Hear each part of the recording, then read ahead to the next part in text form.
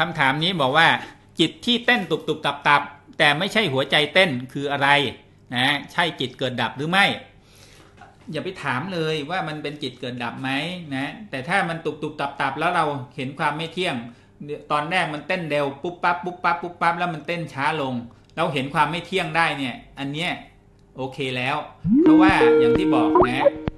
ว่าสิ่งที่เราต้องการจริง ๆ คือเห็นความไม่เที่ยง เมื่อกี้พูดค้างไว้จริง ๆ แล้วอย่างเรื่องจิตเกิดดับนะ จิตจิตที่เกิดดับจริง ๆ แล้วมันนับง่าย ๆ ก็แล้วกัน อย่างถ้าเรา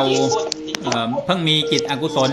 ไปเมื่อครู่นี้นะ แล้วตอนนี้กลายเป็นจิตกุศล อย่างนี้เรียกว่าจิตเกิดดับนะถ้าจะเห็นเริ่มเห็นจากง่าย ๆ ตรงนั้นก่อน อย่าไปเห็นอะไรที่มันนึกว่าเป็นปรากฏการณ์พิเศษตุกตับตุกตับไอ้ตุกตับตุกตับจริง ๆ แล้วเนี่ย จะเป็นการปรุงแต่งแบบไหนขึ้นมาทางจิตก็ตามนะเราเราดูโดยความเป็นของไม่เที่ยงไปให้หมด ไม่ต้องไปสนใจนิยามว่ามันเป็น